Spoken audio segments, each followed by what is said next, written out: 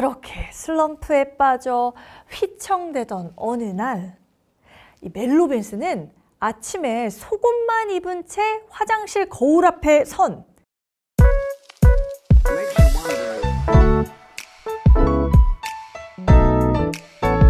안녕하세요. 유튜브 책방 도나의 북마스터 서영입니다. 아마존 오디오북 전 세계 1위, 미국 아마존 베스트셀러 자기개발 1위, 미국 반스앤노블 올해의 책 선정. 오늘 아주 엄청난 책을 소개해 드리려고 합니다. 바로 굿모닝 해빗입니다. TEDx 강연 2,600만 뷰 돌파! 세계적인 라이프 코치인 저자 멜 로빈스는 전 세계에서 강연 신청이 가장 빨리 마감되는 강사로도 유명합니다. 저자는 자기와의 관계에 집중하고 성공을 쟁취하는 법을 이야기하는데요. 성공하기 위해서 우리는 바뀌지 않아도 된다 라고 얘기합니다.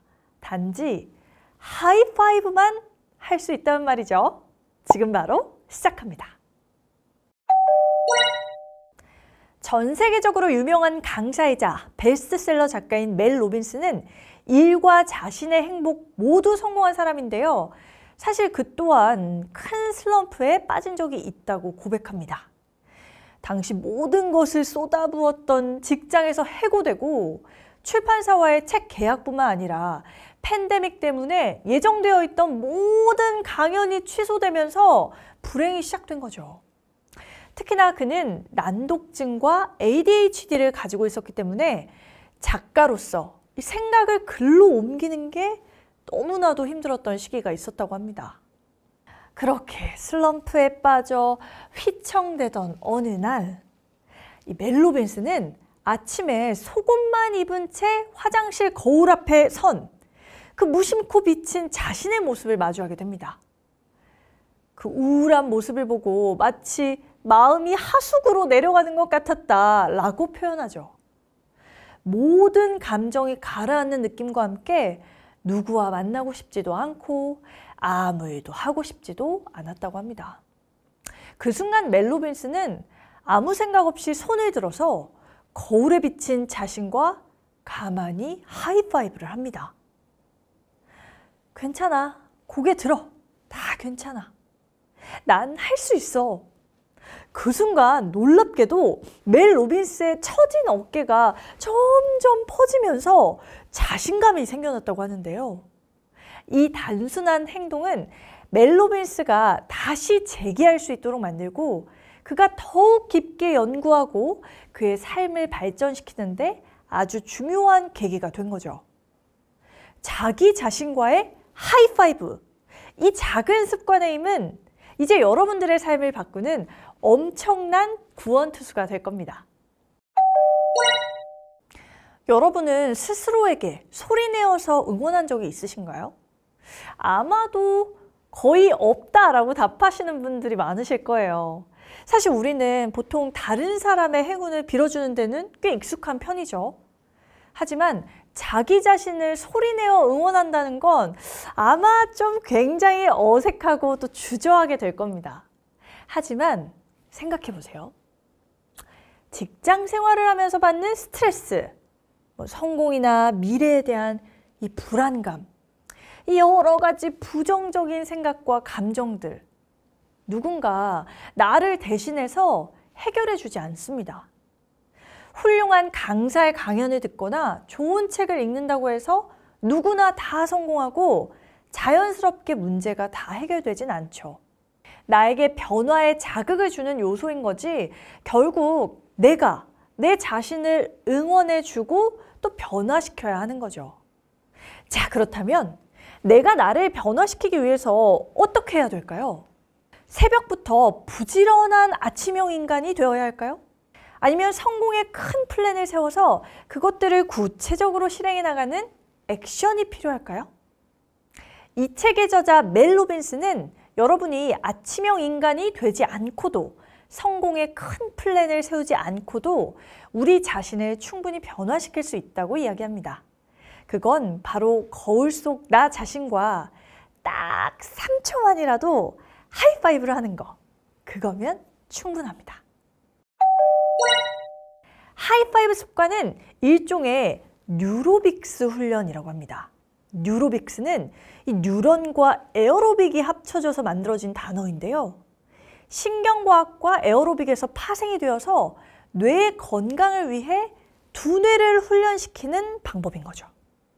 이 연구에 따르면 사람은 예상치 않은 신체 활동을 할 때 이 뇌의 전두엽 피질은 긍정적인 생각을 통해서 새로운 신경 경로 개발을 가속하게 된다고 합니다. 항상 다른 사람들과 해왔던 하이파이브를 반대로 거울 속에 자신과 하면서 익숙하지 않은 행동을 하게 되고 이 예상치 못한 신체 행동을 함과 동시에 평생 쌓아왔던 이 긍정의 에너지가 우리 자신을 완전히 재구성할 수 있다는 겁니다.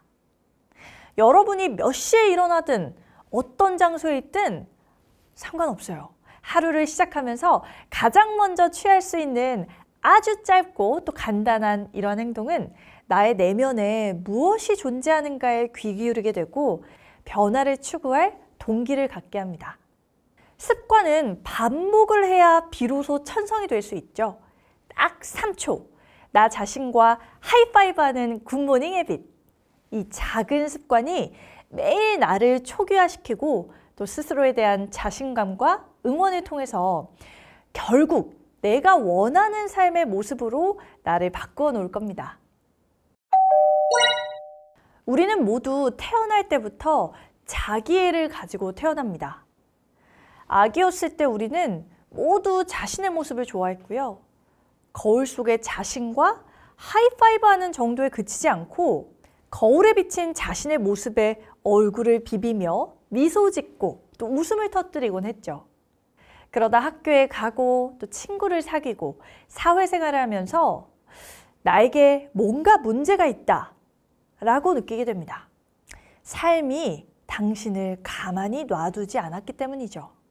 나는 충분히 네모하지 않아. 이 빈칸에는 여러분이 생각하는 부정적인 말, 나에게 독이 되는 말은 무엇이든 넣을 수 있죠. 예를 들면 나는 충분히 똑똑하지 않아. 충분히 잘나지 않아. 충분히 키가 크지 않아. 충분히 돈이 많지 않아. 충분히 성공적이지 않아. 충분히 재능이 있지 않아. 등등. 나에게 독이 되는 말은 어떻게든 다 만들 수 있어요. 멜 로빈스는 이런 생각을 하는 것 자체가 독을 마시는 것과도 같다. 이렇게 이야기합니다. 우리의 영혼과 갈망을 말살하고 하이파이브가 상징하는 인정, 자신감, 축하, 긍정 이런 행동과는 완전히 반대되는 생각들이기 때문이죠. 그리고 가장 중요한 사실은요. 이러한 생각을 할 때는 그 누구와도 특히 자기 자신과는 더욱더 하이파이브 하고 싶지 않다는 거죠. 그래서 제안 드립니다. 오늘부터 한번 이렇게 바꿔보면 어떨까요? 나는 충분히 땡땡땡 하지. 이 빈칸에는요, 나에게 긍정적인 말, 나를 응원하는 말을 모두 넣을 수 있어요. 자, 나는 충분히 똑똑하지. 충분히 잘 나가지. 충분히 키가 크지. 충분히 돈이 많지. 충분히 성공적이지. 충분히 재능 있지. 이런 긍정적인 생각과 말로 지금 바로 Good Morning Habit을 실천할 수 있습니다. 자, 퀴즈 시작합니다. 타인에게 힘을 내라고 응원하거나 놀라운 업적을 이루었을 때 우리는 이 행동을 합니다. 축구 경기를 하는 선수가 골을 넣었을 때 또는 볼링 치면서 스트라이크 처리를 했을 때도 이 행동을 하죠. 하지만 Good Morning Habit 이 책에서 이 행동을 타인에게뿐만 아니라 자기 자신에게 적극적으로 해야 한다고 말하고 있죠. 어떤 단어인지 벌써 딱 떠오르시죠? 자, 퀴즈 신청은요. 해당 영상 댓글로 정답 남겨주시면 됩니다. 정답자 분들께는 추첨을 통해서 푸짐한 선물을 많이 많이 드릴 예정이니까요. 이 다섯 글자 오늘 힌트 드릴게요. 이 다섯 글자 계속 계속 제가 언급했었던 바로 그 단어 지금 제 행동에서도 힌트가 나오고 있죠. 요거 정답으로 남겨주세요. 자, 오늘 우리가 함께 읽은 책, 굿모닝 헤빗. 많은 도움이 되셨나요?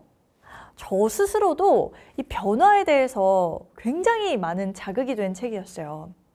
유튜브 책방 도나는요, 구독자분들의 긍정적인 변화에 자극을 줄 수 있는 책 계속 계속 찾고 있고요. 여러분께 다 소개해 드릴 수 있도록 노력하겠습니다. 자, 세상 어디에도 없고 또 세상 어디에나 있는 유튜브 책방 도나였습니다. 감사합니다.